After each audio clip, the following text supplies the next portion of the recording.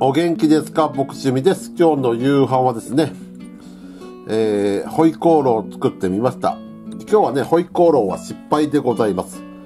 で、味はね、あのー、一回食べてみてね、良かったんですけどね、ちょっと色がね、えー、黒っぽくできてしまったことが失敗でございます。もっとね、赤ピーマンとかコーンとかね、えー、こういう明るい色の食食材をね、入れたらよかったなと思ってね、これはね、えー、マイナス点でございます。本当はね、あげるかどうかで迷ってたんですけどね、えー、やって、あえてね、え、乗せてみました。でねで、ちょっと今日はね、レンコンも入れてみました。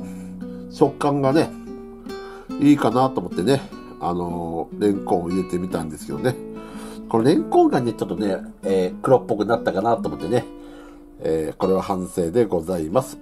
で、えー、ネギ入りのね、卵スープとトリスのサイダー割りね、えー、ございます。で、告知の方は昨日と伝えた通り、プロ野球、えー、開封動画ね、えー、開封じゃプロ野球のね、えー、カードをボックス買いましたのでね、そちらの方と、水曜日にね、この富山ブラックのね、カップラーメンの試食動画あげますのでね、もしよかったら、そちらの方もぜひ見に来てください。よろしくお願いします。